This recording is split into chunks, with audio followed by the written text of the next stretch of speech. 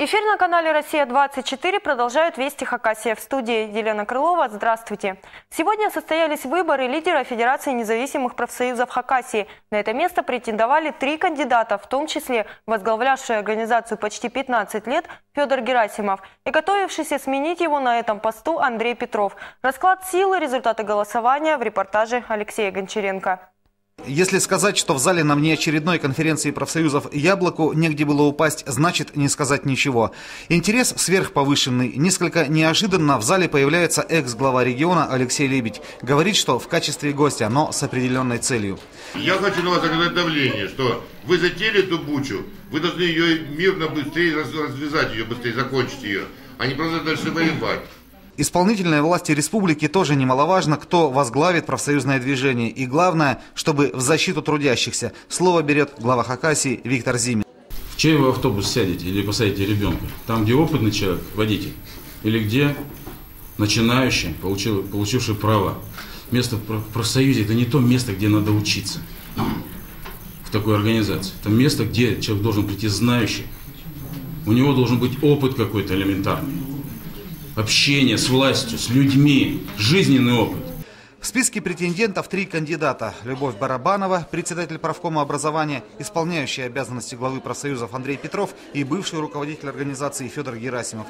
Этим выборам предшествовал скандал, который разгорелся из-за профсоюзной собственности, а именно гостиница «Дружба», директор которой начислил себе премию в 400 тысяч рублей, как утверждают многие, не согласовав ее с советом директоров, то есть с профсоюзами. Поэтому вопросы на конференции касались не только прямой деятельности профорганизации, но и коммерческой человеческой составляющей. Каждый из кандидатов говорил в свою защиту. Я как женщина вижу главную задачу в возвращении того микроклимата, который у нас всегда был в Федерации профсоюзов Республики Хакасия и который мы потеряли за последние полгода. Долго думал, ну и как самое последнее практически подключился, все-таки решил попросить у вас, уважаемые делегаты, дать шанс мне исправить ту ситуацию, в которой мы оказались. Голосованию предшествовали два часа дискуссии. Третий кандидат Андрей Петров единственный, кто произносил речь по бумажке. Следует отметить, что часть направлений, поставленных в конференции задач, успешно реализуется сегодня в ППРХ. Например, Федерация профсоюзов активно взаимодействует с Государственным комитетом по занятости населения республики. В самый последний момент Любовь Барабанова сняла свою кандидатуру. Остались два претендента – Федор Герасимов и Андрей Петров. Кто из них возглавит профсоюзы, должно решиться в тайном голосовании простым большинством голосов. Объявляется голосование, после которого следует подсчет бюллетеней и оглашаются итоги. Герасимов Федор Васильевич за 24. Петров Андрей Михайлович за 30. Избран Петров Андрей Михайлович. Голоса, по сути, разделились надвое, почти пополам. Едва ли победу можно назвать убедительной, с небольшим перевесом в голосовании. Андрей Петров назван новым председателем профсоюзной организации Хакасии. Мы будем улучшать, мы будем совершенствовать профсоюзную деятельность, э, не отрываясь от людей, э, ставя их мнение в основу нашей деятельности. Мы будем стараться для людей, для простых членов профсоюза. Федор Герасимов, возглавлявший организацию без малого 15 лет, слагает себя полномочия профсоюзного лидера. Мне что обидно, за мою честную работу я получил то, что заслужил. За то, что старался, делал для профсоюзов, за то, что защищал их интересы, я получил то, что сегодня вот произошло. Поэтому дай Бог, чтобы у других получилось лучше. Решение конференции правомочное, они избрали э, нового лидера. Ну, успехов им. Я не собираюсь отсиживаться дома на печке. Вот, буду работать во благо интересов республики нашей. Новый лидер профсоюзов выбран сроком на два года, то есть в 2015-м очередное голосование по кандидатуре главы организации.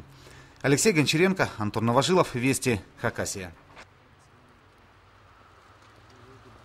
Судебные приставы арестовали имущество под Сининской птицефабрики. На реализацию передано несколько единиц техники общей стоимостью в 600 тысяч рублей.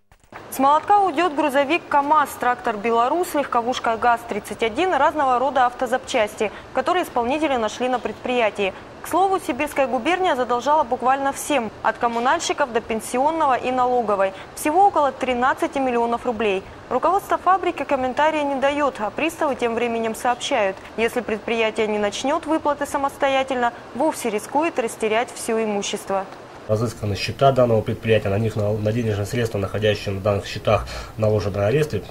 Насколько мне известно, потихоньку денежки списываются. Да, были арестованы автотранс... была арестована автотранспортная техника, другая спецтехника. А, та техника, которая прошла оценку, она была передана на реализацию, остальная техника ждет, скажем так, своей очереди. Преступность молодеет. Практически все преступления по самым тяжелым статьям – убийства, грабежи, разбои – совершаются в пьяном виде. Подтверждение тому уголовное дело, по которому вчера Аскизский районный суд вынес приговор. На скамье подсудимых оказалась молодая девушка, которая совершила убийство в 19 лет. Из зала суда Юлия Константинова. Пьянство, особенно в маленьких деревнях, главный мотив, выражаясь профессиональным языком судей, неприязненных отношений, возникших в ходе бытовых ссор, ревности и желания отомстить. Только в Аскизском районе в прошлом году водка стала причиной избиений и даже убийств в 93 случаях из 100. Согласно статистике, количество преступлений против жизни и здоровья человека выросло на 32%. Очень показательно то, что преступления данной категории совершаются ну, больше около половины этих преступлений совершены молодыми людьми в возрасте до 30 лет.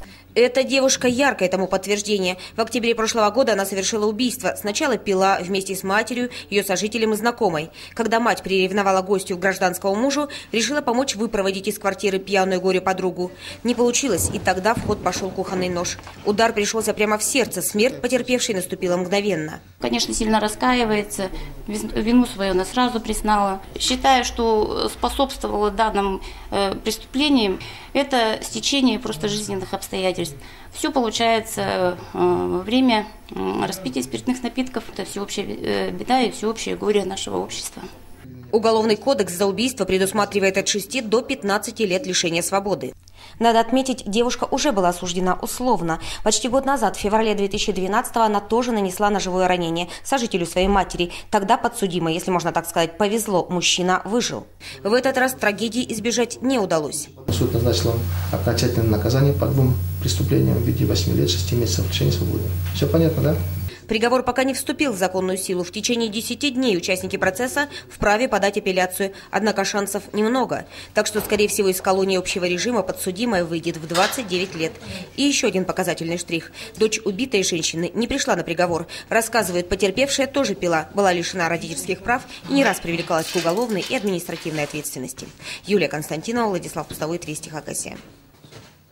Частные подворья в Нижней Тюе Скийского района затапливают талые воды. В этой местности снега за зиму выпало намного больше, чем обычно. Он начал таять, и вода подошла к домам. Причину подтопления деревни люди видят в водоотводной трубе. Ее проложили под вновь отстроенной дорогой, которая отделяет село от озера. Оно ежегодно образуется весной, когда в округе обильно тает снег. Прежде стихийный водоем не мешал, так как находился он ниже уровня дороги. Но когда появилась труба, вода весной начала из озера перетекать к домам. Затопила огороды, подполья, надворные постройки. С этой трубы он сколько народ там мучается. Ну, наши соседи. И внизу там тоже стайка попадет, где держать скот. Вот. А на улице ты не выгонишь. Ну, сами такое как все равно в тепле, а скоту плохо. Местные власти уже пытались как-то решить проблему. Заказывали технику, чтобы прорыть каналы, но земля еще мерзлая. Пришлось работы отложить как минимум на месяц. А пока жители вдоль заборов делают насыпи из шлака, тем самым пытаясь хоть как-то преградить путь воде.